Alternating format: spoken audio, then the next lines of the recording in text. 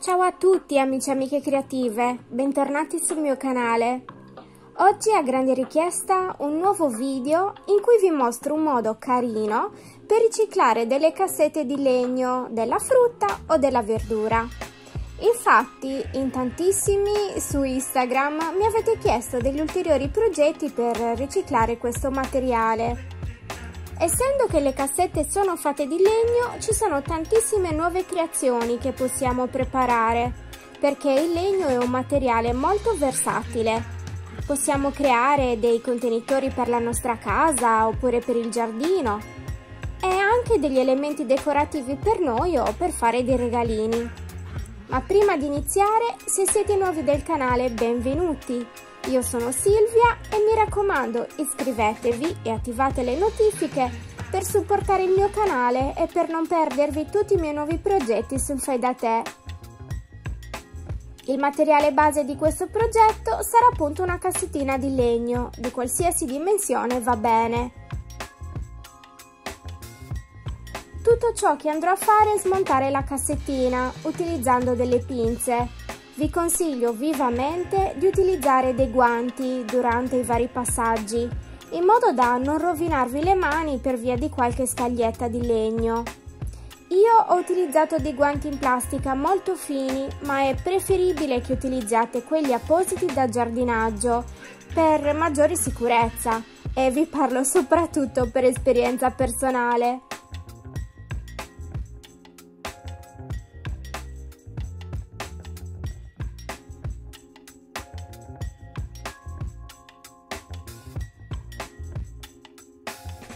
Ok, smontata la cassetta abbiamo un bel po' di legnetti per i nostri futuri progetti.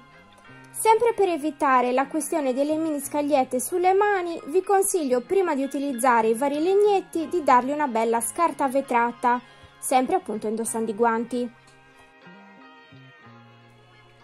La mia cassettina era composta fortunatamente da della legna molto fine, quindi ho potuto tagliare i miei elementi decorativi direttamente con un paio di forbici. Se la vostra è un po' più grossa potreste utilizzare delle tronchesine, seghetti, trafori e chi più ne ha più ne metta, oppure farvi tagliare le varie parti direttamente da qualcuno che ha i macchinari specifici. Nello specifico io che cosa ho fatto? Ho ritagliato con le forbici dei cerchi e dei cuoricini per poi realizzare dei ciondoli che terrò nella mia casa oppure andrò a fare qualche regalino. Risultando molto fini e con la possibilità che si possano spezzare, ho realizzato delle sagome doppie che poi ho unito con la colla. Potete utilizzare una colla tenuta forte oppure direttamente la colla a caldo.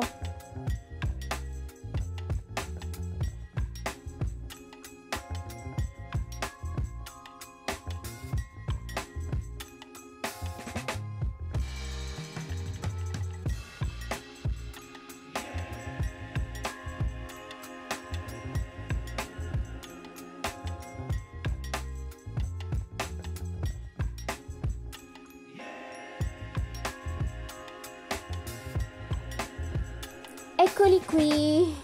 I miei ciondoli in legno sono pronti per essere decorati. Sono già molto carini anche così e potete scegliere di fargli magari una decorazione delicata dal docco shabby chic oppure stravolgere completamente il tutto come ho fatto io. Ho utilizzato queste carinissime fustelline per ritagliare dei fogli adesivi colorati.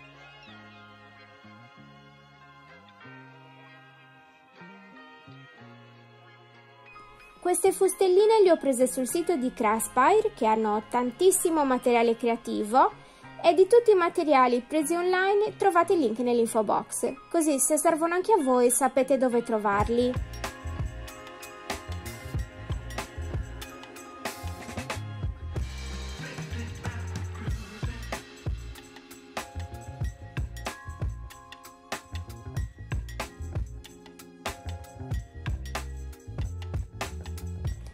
Applicato uno per uno le varie parti sui miei ciondolini.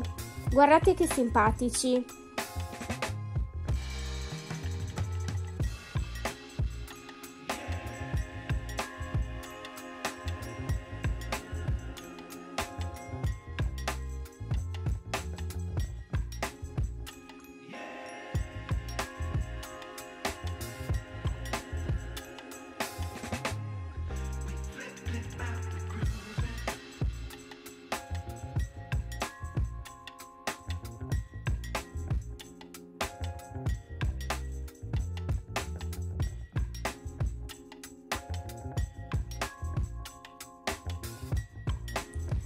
Delle matite colorate gli ho dato anche un po' di colore.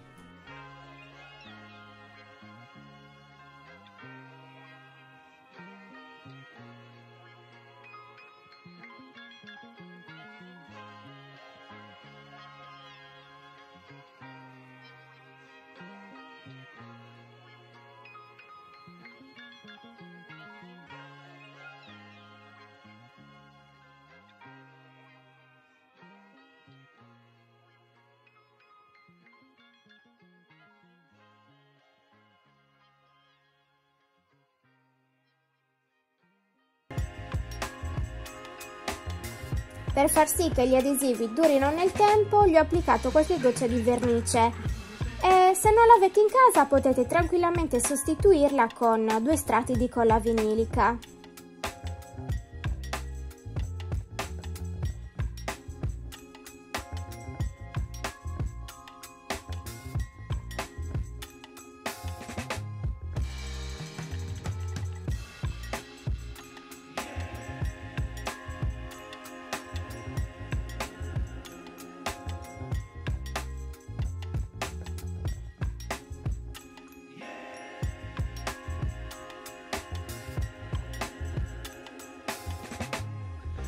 Ho aggiunto anche qualche glitter e qualche strass per rendere il tutto ancora più colorato e luminoso.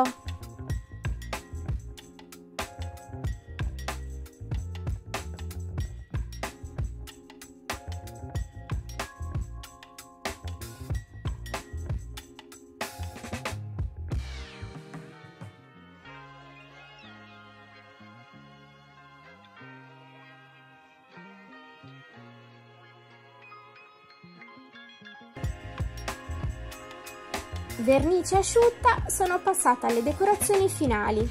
Ho incollato un cordoncino attorno alle sagome e per finire ho inserito un nastrino per poterle appendere.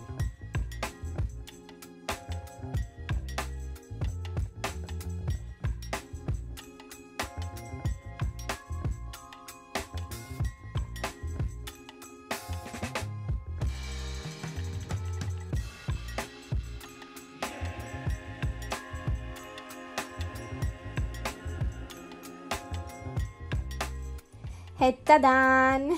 Ecco qui i miei ciondolini che rappresentano la famiglia. Secondo me è anche un'ottima creazione da regalare ad amici e parenti.